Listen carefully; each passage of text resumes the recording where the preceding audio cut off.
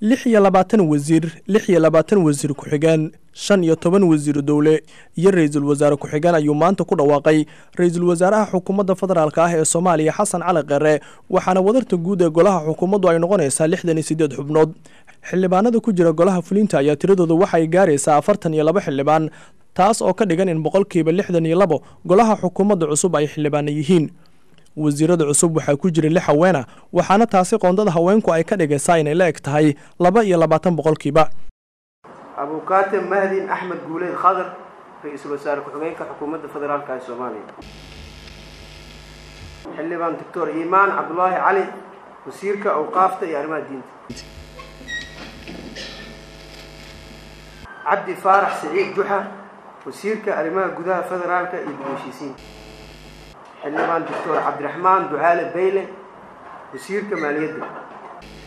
Cabdirashiid cabdulaahi maxamed wasiirka gaashaandhigga ambasador yuusuf garaad cumar wasiirka arrimaha dibadda iyo iskaashiga caalamiga. Cabdulaahi daahir cismaan wasiirka waxbarashada iyo tacliinta sare. Abukaati cabdiraxmaan xoosh jibriil wasiirka arrimaha dastuur. Ambasador jamaal maxamed xasan wasiirka qorsheynta maalgashiga iyo horumarinta dhaqaalaha. Xildhibaan maryan aweys jaamac wasiirka dekedaha iyo gaadiidka badda. Maxamed cabdulaahi salaad wasiirka gaadiidka cirka iyo dhulka.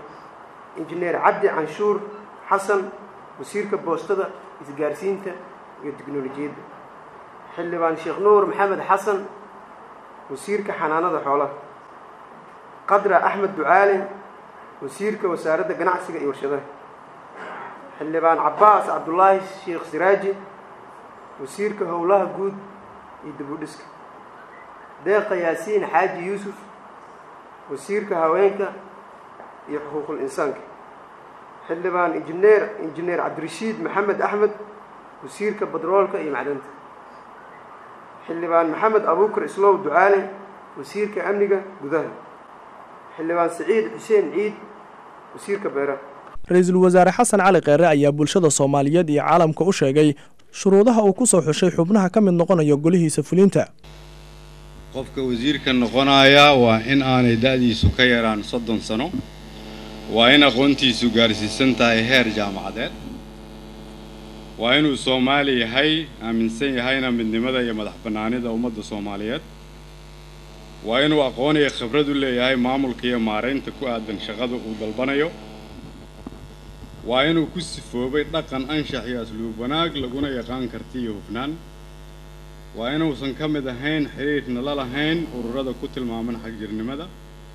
Waa inuu oggolaado saxiixana in la hubiyo taariikh nololeedkiisa iyo khibraddiisa kadib markii loo magacaabo wasiirnimada waa inuu la jaan qaadi karo kana turjumi karo isbeddelka ku yimaada rabitaanka shacabka.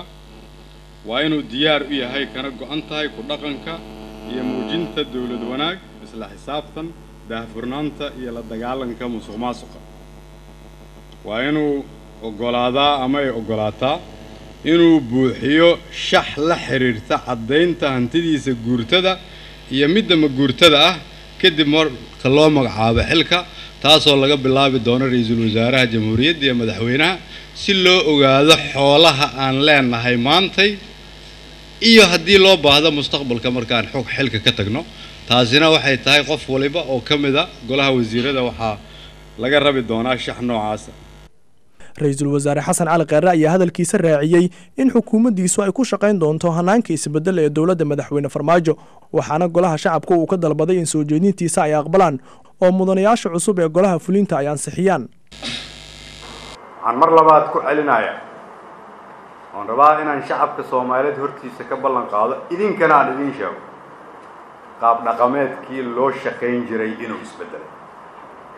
Waxaan rabaa inaad u diyaar garoodaan idinkuna baarlamaanka ama golaha shacabka soomaaliyeed waxaan halkaan uga dirayaa baaq aan ku leeyahay aada ay aad ugu mahadsantihiin taageeradiinna iyo inta hadda nagala joogo.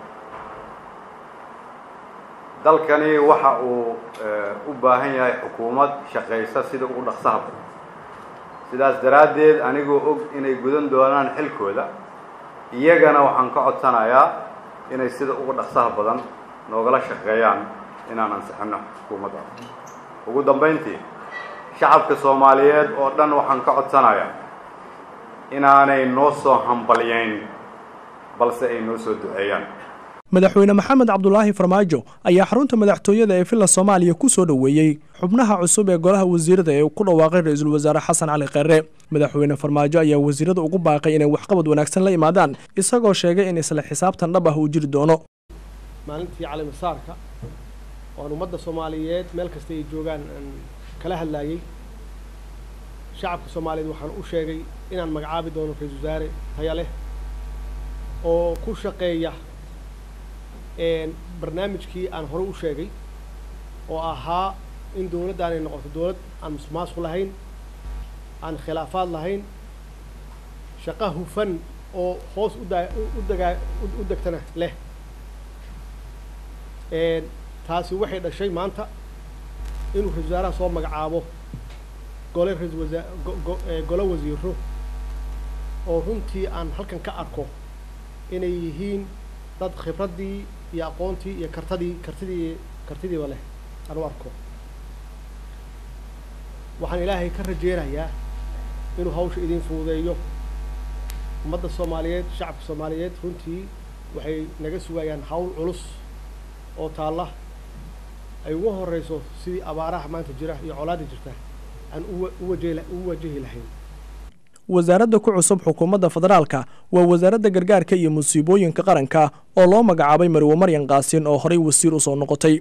Xukuumadda ra'iisul wasaare kheyre waxaa xukuumadihii hore ay uga duwan tahay tirada wasiirada haweenka ah ee golaha ku jira golaha wasiirada oo ay ku jiraan danjirayaal hore iyo xildhibaano ka mid ah golaha shacabka sidoo kale waxyaabaha aadka la isku weydiinayo waxaa ka mid ah halka ay qabteen musharaxiintii xilka madaxtinimo kula tartamaya madaxweyne farmaajo oo aad loo hadalhayay inay ka soo dhex muuqan doonaan xukuumadda cusub ee soomaaliya taasna ma dhicin.